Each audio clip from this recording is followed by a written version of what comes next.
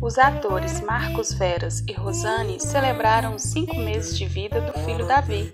Eles publicaram algumas fotos e na legenda Marcos escreveu: Cinco meses do meu Davi, mais conhecido como Meu Amor.